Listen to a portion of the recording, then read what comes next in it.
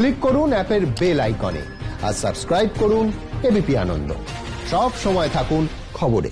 আমাদের এই বিশেষ অনুষ্ঠানে ইতিমধ্যে কিন্তু সূর্যগ্রহণ শুরু হয়ে গিয়েছে এবং দেশের বিভিন্ন জায়গা থেকে দেখা যাচ্ছে, যেমন মুম্বাইয়ের ছবি আপনারা দেখতে পাচ্ছেন এবং আমাদের এখানে অর্থাৎ এ রাজ্যে কলকাতা থেকে কিন্তু দেখা যাবে দশটা বেজে ছেচল্লিশ মিনিটে এবং এখন ঘড়িতে ঠিক দশটা বেজে উনপঞ্চাশ মিনিট অর্থাৎ গ্রহণ কিন্তু শুরু হয়ে গিয়েছে আমাদের শহরের আকাশ থেকেও। যদি আকাশ পরিষ্কার থাকে তাহলে এই গ্রহণ দেখা যেতে পারে।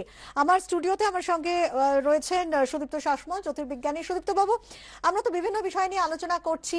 এই এক একটা সূর্যগ্রহণ থেকে ঠিক কি কি শেখা যায়, কি কি গবেষণা হচ্ছে, সবকিছু নিয়ে আমরা আলোচনা করছি। একটা বিষয় সোলার ফিজিক্স নিয়ে যারা পড়াশোনা করেন, আপনি একটু আগেই বলছিলেন যে তারা এই গ্রহণের সময় করোনার রূপটা ঠিক কেমন হবে, সেটা নাকি আগে থেকেই তারা বুঝতে পারেন এবং ঠিক সেই মতো তারা প্রেডিক্ট করেন সেটা। এটা কীভাবে সম্ভব? হ্যাঁ আমরা যদি দেখি যে সূর্য আমাদের যে নক্ষত্রটা, যেটা আমাদের খুব পরিচিত, তার নিজস্ব একটা ম্যাগনেটোস একটা ম্যাগনেটিক ফিল্ড লাইন্স রয়েছে। এখন যখন সূর্যের চারপাশে, সূর্য মানে কিন্তু শুধু সুরার ডিস্কটা নয়। আমি যেটা বারবার বলছি যে সোলার ডিস্কের বাইরে যে সূর্যের যে করোনা রয়েছে করোনা কিন্তু একটা মানে মানে সূর্য যতটা ইম্পর্টেন্ট করোনাও কিন্তু ততটাই ইম্পর্টেন্ট এখন গ্রহণের সময় যেটা হয় কি, গ্রহণের সময় যেহেতু ডিস্ক ঢাকা পড়ে যাচ্ছে, তখন করোনাটা মানে তার যে এফেক্ট সেটা আরও অনেক বেশি মানে মেজরিটি লাভ করে। এখন একটা বিজ্ঞানের ভাষায় কথা আছে সোলার ডায়নামো, যেটা কিনা সোলার ম্যাগনেটিক ফিল্ড কীরকম ভাবে চেঞ্জ হচ্ছে সেটা নিয়ে পড়াশোনা করা হয়, সেটা নিয়ে রিসার্চ করা হয়। তার থেকে কিন্তু যে দেখা যাক যে যদি আমরা প্রিভিয়াস ইক্লিপসের কথা দেখি বা ভবিষ্যতের যে ইক্লিপসগুলো হবে সোলার ডায়নামো ফিজিক্সের উপর বেস করে আমরা কিন্তু ধরতে পারি যে এই সোলার করোনা গুলো কীরকম হবে। তার তার রূপটা কোন দিকে হবে? মানে কোন দিকে ম্যাক্সিমাম করোনার একটা অ্যাকুমুলেট হবে, কোন দিকে কম হবে? মানে ফিল্ড লাইন্স হিসেবে সেগুলোকে সিমুলেট করা যায়।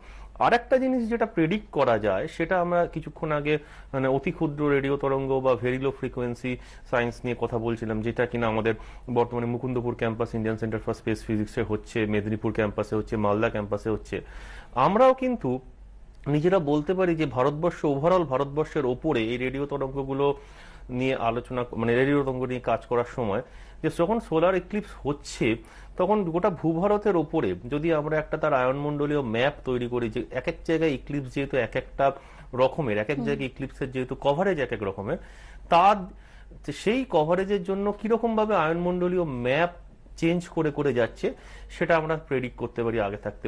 সুতরাং এই সোলার ইক্লিপস মানে সূর্যের সূর্য এবং পৃথিবী, যেহেতু সোলার টেরেস্ট্রিয়াল বডি একটার সাথে আর একটা ইন্টারলিঙ্কড তো ইক্লিপসের সময় যেরকম শুধুমাত্র পৃথিবী না সোলার ফিজিক্সটা কিন্তু সোলার ডায়নামোর উপর বেস করে সোলার করোনা কীরকম হবে, তার আগত রশ্মির প্রকারভেদ কীরকম হবে, কীরকম তারতম্য হবে চেঞ্জ, সেই আলট্রাভায়োলেট বা এক্স রে যেগুলো শুধুমাত্র করোনা থেকে আসছে বা শুধুমাত্র রিং অফ ফায়ার থেকে আসছে, তার জন্য কি চেঞ্জ হচ্ছে পৃথিবীর চৌম্বক ক্ষেত্রের বা আয়নোস্ফিয়ারের সেগুলোকেও নিয়ে প্রেডিক্ট করতে পারেন আগে থাকতে।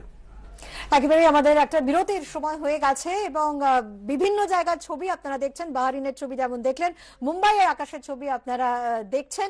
আরও অনেক ছবি আপনাদের আমরা দেখাবো এবং অবশ্যই আলোচনা করব, তবে একটা বিরতির পর।